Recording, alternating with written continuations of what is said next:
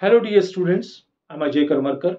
Before watching this video, please be seated with copy pen. If you find somewhere important, pause the video, note it and proceed further. Although you have facing any problem or difficulties, please write in comment box. I will definitely solve your problem. And along with, please like, share and subscribe my channel that can reach more and more students. Thank you. Here is the question. A cylindrical furnace has height capital H and diameter capital D, both 1 meter. It is mentioned a temperature 360 Kelvin. The air gets heated inside the furnace at constant pressure. P alpha and its temperature becomes T equal to 360 Kelvin. The hot air with density rho according to the figure as a result atmospheric air of density rho alpha equal to 1.2 kilogram per meter cube pressure P alpha and temperature T alpha equal to 300 Kelvin enters the furnace. Assume air as an ideal gas. Neglect the variation in rho and T inside the chimney and the furnace. Also ignore the viscous effect given the acceleration to gravity g equal to 10 meter per second square and pi equal to 3.14. In this paragraph contains two uh, sub questions there is A considering the air flows to be streamlined and uh, steady mass flow rate of air exiting the chimney is in fill in the blanks uh, in gram meter per second. And question number second when the chimney is closed using a cap at the top pressure different delta p develops between the top and the bottom surface of the cap. If the changes in the temperature and density of the hot air due to the uh, stoppage of the flow are height then the value of delta P is in Newton per meter square. This question is asked JEE Advanced 2023. Dear students, this question is most controversial question of JEE Advanced 2023. But I am not interested to following that controversial. But I am uh, telling you one thing I'm taking the reference of the books, Compressible Fluid, the writer's name, that is A.H. Shapiro and Sonin. So therefore, according to my view, I'm giving the solution of this question. Here, first of all, we have to understand what the question says. Here, we have given that furnace, its height is capital H and it is connected with the chimney and its height is 9 meter. And here, the air which we have to take in the ideal gas and its density is 1.2 kilogram per meter cube. When it's being to be heated, then you know that very well, its uh, density reduced.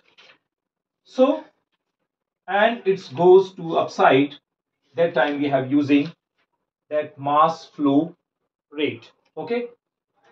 So let's see how we can get the density. You know that ideal gas PV equal to RT. And RT generally we have taken and are considered N equal to 1. What is uh, the relation between the density and mass? You know that density equal to mass upon volume. So volume can be written as mass upon density. So in this case here we have to take from the inside when gas enters in the furnace that time we have to take the pressure is PA and mass is M and uh, here the density is uh, rho A. Here R that is the temperature that is from the initial temperature that we consider TA. Now for the second condition for the point 2 because we have to divide it with the 3 point at the bottom that is considered 1. Here the neck the point is second and the top that is considered point 3. Now for the second condition that is uh, 2 here m according to laws of conservation of uh, matter here the mass is conserved so therefore m is not changed. Here the density which we have to find out r is constant and that is t2 okay? So divide it this equation first and equation second. Then pa and uh, that is rho a. Here p2 and uh, rho because m cancel out and R are cancelled that is TA and T2. You can see that here temperature at P atmosphere pressure from this total furnace that is constant. So therefore PA equal to P2 so that will be cancelled out. Here rho equal to PA upon T2 into rho A. So here TA the temperature on bottom side that is 300 it is 360 because inside that furnace being preheated that is 360 and here the rho A that is given 1.2 kilogram per meter cube. Here the decimal is removed. 12 3 are that is 30 and 300 300 cancel out then rho equal to 1 kilogram meter cube so here we get the density 1 kilogram per meter cube. Okay, clear? Now here we have to using enhanced form of this Bernoulli theorem because uh, from the point 2 to point 3. Okay, so here we have using that is all energy which is uh, passing through all the gases from point second to point 3 that is pressure energy, kinetic energy and potential energy that should be constant for everywhere. And the relation this is atmospheric pressure. You know that atmospheric pressure this is equal to this pressure p2 because here at the furnace all the pressure is the same. But in this case this pressure and this pressure because we have to take in this pressure that is p3 and total height that is a rho uh, and gh that is the sum of this pressure that is equal to this p2 okay now we get now transfer transposing all the terms now become.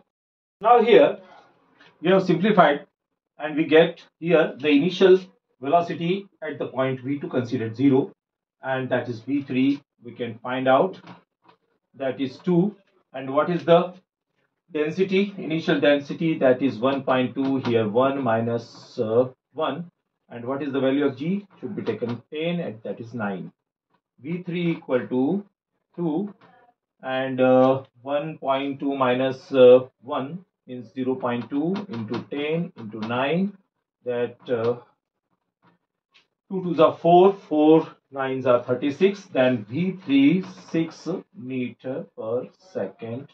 That is the v3 okay but we have to find out mass flow rate. Okay?